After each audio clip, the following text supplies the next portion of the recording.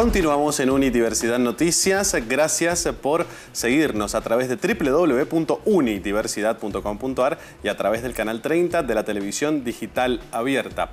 Eh, nos metemos de lleno en lo que es el Festival Provincial de Teatro. Culmina este día domingo, hay obras todos los días. Arrancó en el departamento de San Rafael como un aditivo diferente a otros festivales eh, eh, provinciales de teatro de la provincia de Mendoza obras seleccionadas por un jurado que se van presentando en distintos teatros de la provincia. Y ahora nos vamos a meter de lleno con también presencia aquí en el piso de Unidiversidad Noticias con la obra Me pegan las luces. Se va a presentar este próximo sábado a las 22 en el Teatro Independencia y va a ser una de las obras, la única obra de este festival que va a ser interpretada en lengua de señas para la comunidad sorda de la provincia de Mendoza. Quiero agradecer la presencia aquí en nuestros estudios de Ivana Catanese, ella es la directora y coautora de la obra Me pegan las luces. Y también agradecemos mucho la presencia de Mariana Martínez. Ella es asesora del equipo de intérpretes de lengua de señas argentina. Va a estar este próximo sábado allí trabajando y llevándole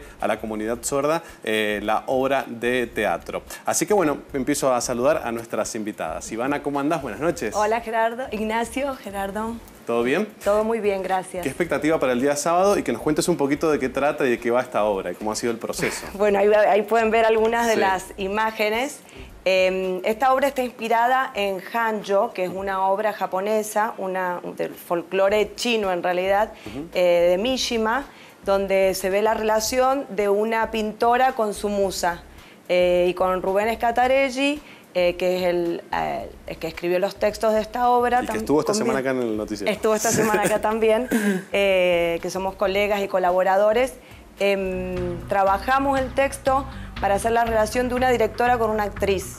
¿Mm? Entonces, cómo uno se puede llegar, cuánto da como actriz o cuánto no. Como, entonces se va y se interna en un lugar con la directora y lo comparamos mucho también con, con la semilla. ¿No? Una semilla eh, que la entierro en la tierra, la tapo, está en la oscuridad, la ahogo, se rompe y florece.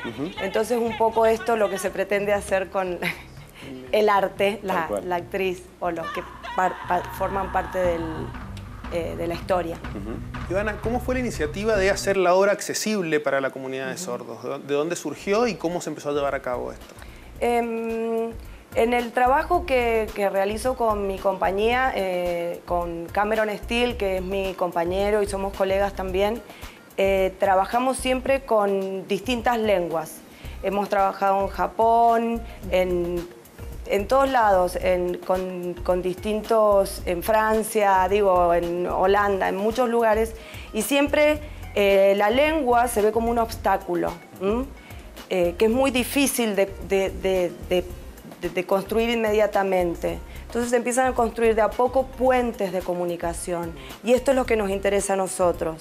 En esta oportunidad em, tuve una necesidad muy fuerte eh, de, entrar en contacto con la comunidad sorda y eh, aprender de su lengua, de qué, qué, les pasa a ellos, ¿no?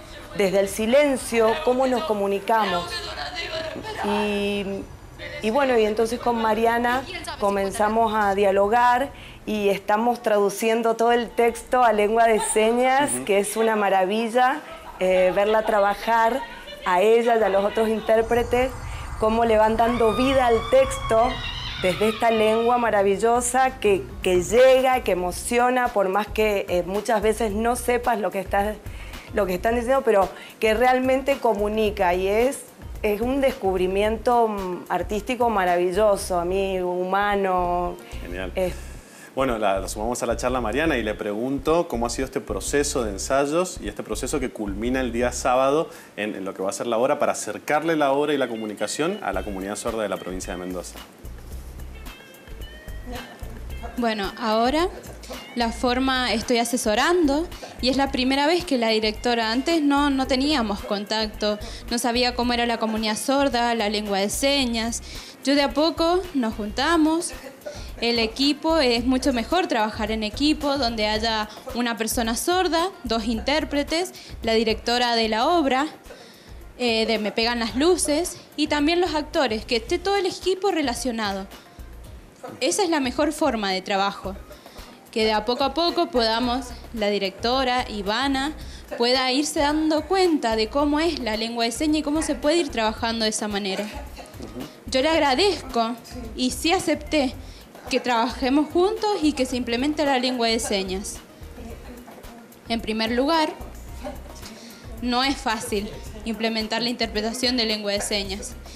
El primer paso hay que conocer el texto, la directora, leerlo, qué es lo que significa el texto, leer en profundidad todo y qué es lo que significa compartir, saber cuántos personajes hay, a ver si puede haber un intérprete o se necesitan dos, cuántos intérpretes se necesitan y de ahí viendo cómo se divide el texto para cada uno.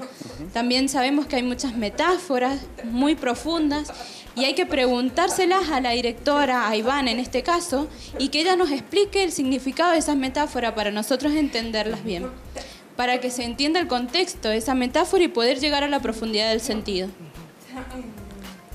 Una vez que conocemos el guion y ahí podemos empezar a, trabajar juntos con los actores y los intérpretes quienes lo van viendo a los actores para saber cómo son, qué tiempos manejan, las velocidades, cómo hablan arriba del escenario, cómo es la forma de practicar de ellos. No se puede, por ejemplo, ir tarde en lo que es el diálogo, tiene que ir a, un tiempo igual. Tiene que ir al unísono. Entonces, esa memorización que necesita el intérprete, tiene que haber un asesor que ayude por ejemplo, en los rasgos no manuales, hacerle notar al intérprete cuáles son las posiciones, dónde es mejor que estén, si están arriba, abajo del escenario, por ejemplo. Arriba del escenario o abajo, ¿dónde se sientan las personas sordas? No pueden estar distribuidas en todo el teatro. Tienen que estar en un lugar especial. ¿Para qué? Para que puedan tener una visual del intérprete y de la obra y no pierdan información. Entonces, necesitamos en este caso un acuerdo previo. Para el acuerdo se hace previo y es el lugar que se elige para que la persona sorda pueda también tener una buena iluminación cuando se apagan y se prenden las luces o tener prendidas siempre las luces en el teatro para que no se, se pierda la comunicación. También cuando hay luz fría, cálida, los distintos colores. Hay que explicarle también le explicamos a la directora cómo era la mejor forma de trabajar con las luces y cómo era la cultura sorda en eso, cómo era la forma de la cultura en la parte visual. Para que, se fuera, para que fuera cómodo la visual, que el sordo no tuviera que estar girando demasiado el cuello, porque eso genera mucho dolor de vez en cuando. Entonces es importante que el enfoque sea cómodo y el intérprete esté en un lugar y esté al mismo tiempo que los actores hablando Así de esta manera, el intérprete puede captar la información y traducirla al mismo tiempo, e interpretarlas al mismo tiempo. Y eso requiere mucha práctica y memorización. Y ahí sí se puede hacer la obra como lo vamos a hacer el día sábado.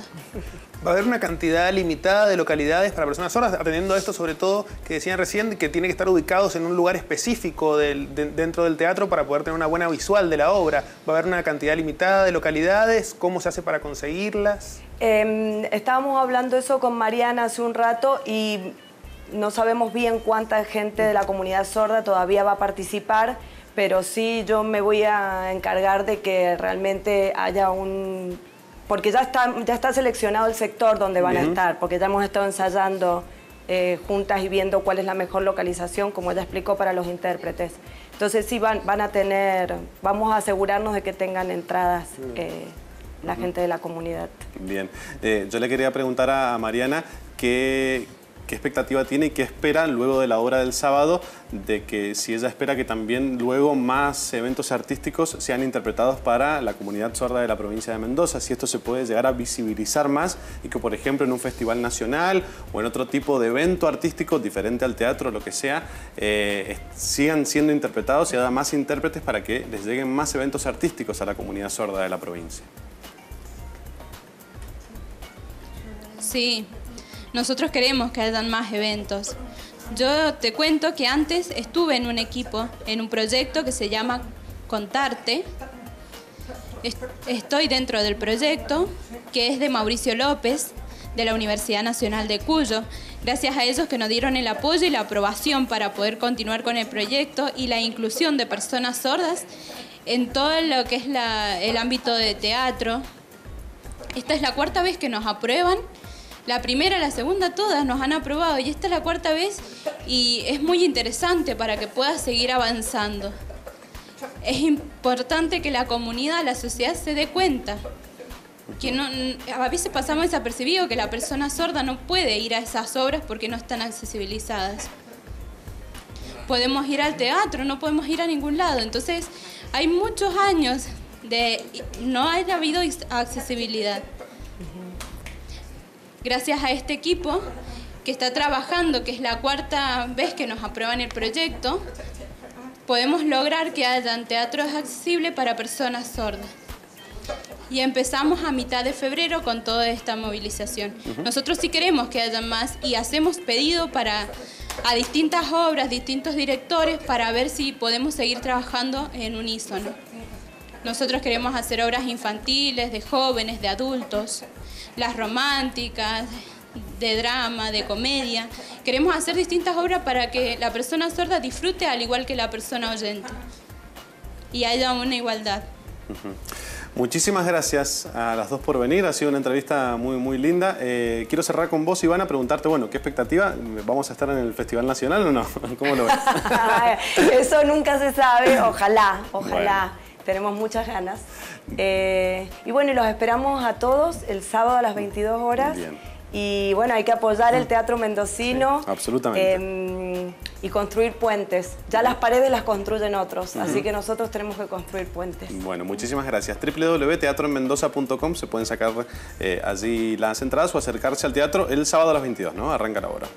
Muy bien. recordemos que en el Teatro Independencia las entradas se pueden reservar, pero no comprar por internet, porque en algunas otras salas se pueden comprar por internet directamente. Sí, sí, sí. Pero en el caso del Teatro Independencia y también las obras que son en el espacio Julio Le Parc se pueden reservar únicamente, después hay que ir a comprarlas efectivamente ahí en la boletería del teatro. Ivana Catanese, directora y coautora de obra Me Pegan las Luces, y también estuvimos con Mariana Martínez, asesora del equipo de intérpretes de Lengua de Señas de Argentina. Le agradecemos mucho la presencia. También agradecer a Jessica Vicino, ella es intérprete todos los días eh, en Lengua de Señas para la comunidad sorda de la provincia de Mendoza de este noticiero, Unidiversidad Noticias, con Cristian Rossi, que también está allí en pantalla realizando las interpretaciones, y también ha estado Agustín Otondo y Yamila Mallea. Muchísimas gracias por las interpretaciones eh, que realizan todos los días aquí en Unidiversidad Noticias de 21 a 22 en el canal 30 de la televisión digital abierta. Y lo nombraba Mariana en una de sus contestaciones hoy, ahora en la entrevista, de que el área de articulación e inclusión social de la Universidad Nacional de Cuyo es la que impulsa el programa Contarte para que hayan interpretaciones en diferentes eventos artísticos. Eh, hacemos una pausa y ya venimos con más información.